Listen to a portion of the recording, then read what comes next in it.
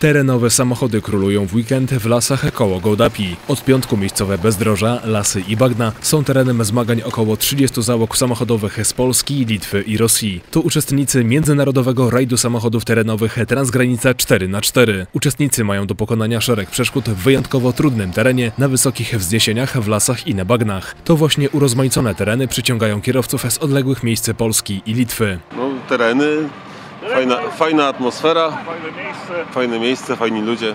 No na pewno jest bardzo treściwie, jeżeli chodzi o tereny.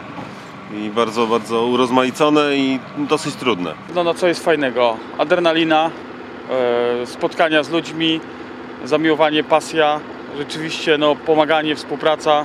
Liczy się jak najbardziej, wiadomo, że no, no, może rywalizujemy, ale zawsze staramy się sobie pomagać nawzajem, także na pewno to też jest fajne. Mamy wyścigi w Litwie.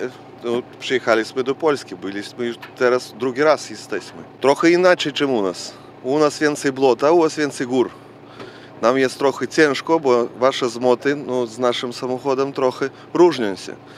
Ale no, ciekawie, bo coś nowego możemy popatrzeć, znaleźć. Włodzimierz Babicz, organizator rajdu, tak jak przed rokiem przygotował szereg zadań, podjazdów pod wysokie pagórki i przejazdów przez błota. W utrudnieniu rajdu pomogła deszczowa pogoda. Mam nadzieję, że jest trochę lepiej. Zawodnicy się wy, wypowiedzą e, po imprezie.